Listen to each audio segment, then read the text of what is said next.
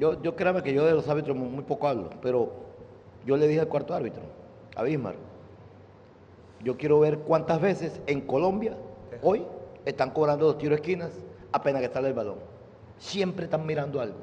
Y los jueces, y los, y los, y los, y los jueces de línea se paran para que no cobren. Esta vez no, no hubo eso. Si te diste cuenta, en el segundo tiempo Montero iba a sacar, pare. Y no había pasado nada. Entonces, eso es lo que le molesta a uno, lo que le molesta. Repito, yo del árbitro hoy sí no quiero hablar nada, hablo de fútbol de mi equipo, todas las preguntas que quieran, pero me está preguntando lo que reclamamos, reclamamos eso. Que creo que el árbitro tenía, el juez de línea tenía que ponerse también a esperar qué pasaba, porque eso es lo que hacen siempre. Simplemente eso. No, el momento, el, el- el que no se haya hecho un gol no quiere decir que no se aprovechó el, hombre de más.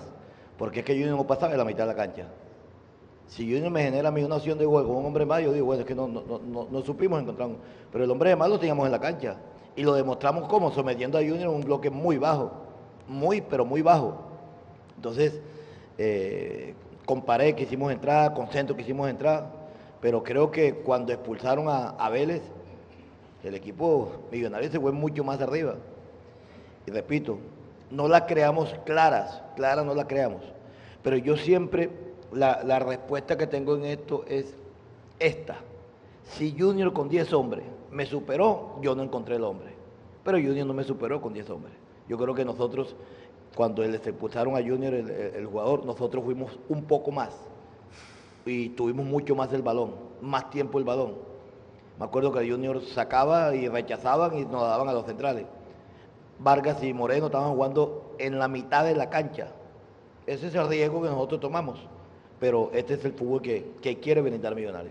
No, yo creo que eh, no es la primera vez que venimos a Barranquilla con un marco chévere, con un marco motivante. Yo creo que para nosotros tener el estadio lleno es un marco motivante. Gracias a Dios estamos acostumbrados que contamos con una hinchada en Bogotá que casi siempre nos llena, entonces nos tiene acostumbrados a esto y esto es precisamente lo que buscamos nosotros, lo que queremos nosotros, tener espectáculo, tener las hinchadas que apoyen y, y en cada estadio su hinchada. Yo creo que hoy fue un lindo marco en cuanto a hinchada se trata y, y creo que fue un buen partido.